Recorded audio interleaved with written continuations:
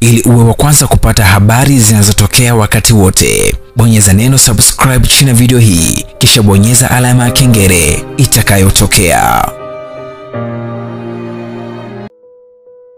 Habari za wakati huu, mpenzi mtazamaji wa King Charles TV, kuwa wa kwanza kupata habari njema na habari ambazo zinatufikia hivi punde. Lakini leo nimekusogezea habari ambayo inaweza kukushtua kidogo, na kwa upande mwingine wa pili wa shilingi inaweza kukupa hamasa fulani hivi kutoka ndani ya mjengo wa Bunge la Jamhuri ya Muungano wa Tanzania. Kumbuka langu jina ni mimi Taro Michael Mjora. Spika wa Bunge la Jamhuri ya Muungano wa Tanzania Job Ndugai amesema kuna haja ya kusimamisha mshahara wa mbunge wa Singida Mashariki Tundu Lissu kwa sababu hayupo bungeni, jimboni kwake wala hospitalini na hajapewa taarifa zozote na madaktari.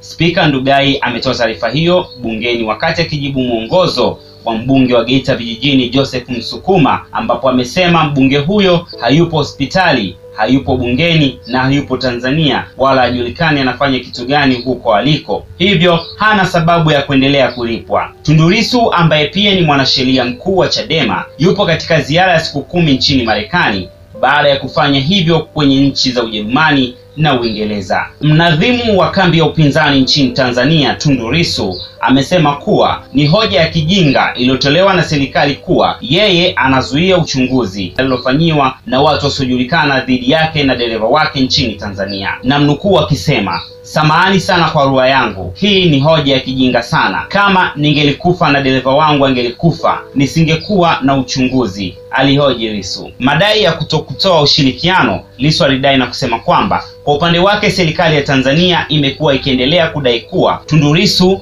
amekuwa hatoi ushirikiano na hivyo kuchelewesha. Naye Lisu amekuwa akilalamika kuwa shambulizi alilofanyiwa mpaka hivi sasa halijapata ufumbuzi wa kiuchunguzi. Akijibu shutuma hizo zilizotolewa na Lissu, balozi wa Tanzania nchini Marekani amekosoa lugha aliyotumia Lissu na kusema kuwa anasikitishwa na kitendo chake cha kutokutambua kwake kazi nzuri ya serikali. Kutokutambua kazi nzuri ya serikali, akizunguka dunia nzima unamtukana na rais wako vyombo vya dola na kuambia Watanzania kwamba hamna haki nchini kwenu sio sawa, amesema balozi huyo. Kwa upande mwingine, twende tuzitazame athari za ziara ya Lissu.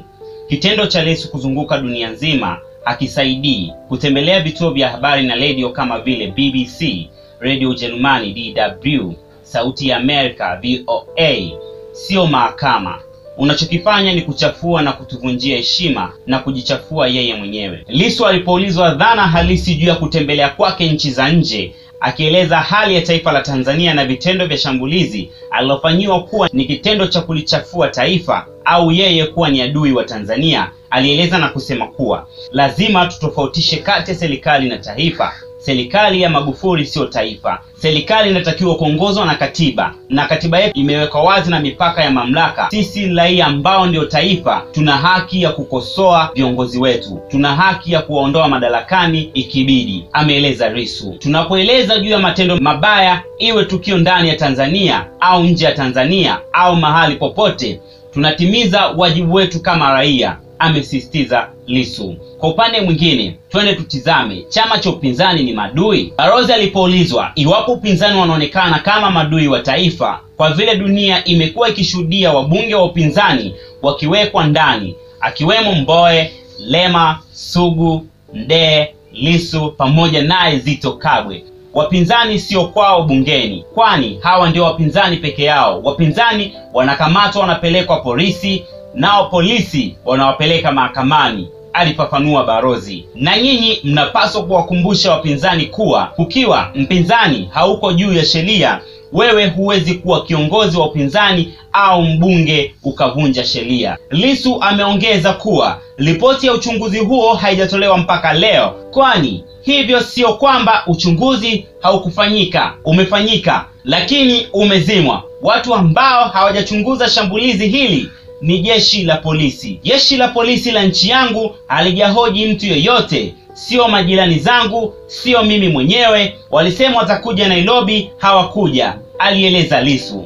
Balozi amekanusha madai ya Lisu akisema kuwa yeye kama mwakilishi wa serikali ya Tanzania ana taarifa polisi wameendelea na uchunguzi. Namnukuu balozi, mimi nakwambia polisi bado wanachunguza na yeye Lisu amesema kuwa uchunguzi haufanyiki. Alisema Lisu alisisitiza kuwa serikali ieleze wamemwoji nani na wanatakiwa waweke ripoti hii hadharani. Mbunge amepigwa risasi katika vipindi vya bunge, polisi hawajatoa ripoti hata kidogo, amesema Lisu. Hata hivyo, Barozi amemkosoa Lisu akisema kwa sababu yeye alikuwa hospitalini mwaka na nusu, unaletewa taarifa za kuchonganisha serikali na unazikubali kama zilivyo. Wewe kama mwanasheria huwezi kuchukua ushahidi wa kuambiwa. Balozi alimwomba Lissu, kwa nini hutaki kurudi nyumbani? Kwa nini hutaki kurudi nyumbani? Ukatoa statement wewe na dereva wako, ukafikia hatima ya uchunguzi, alisisitiza balozi.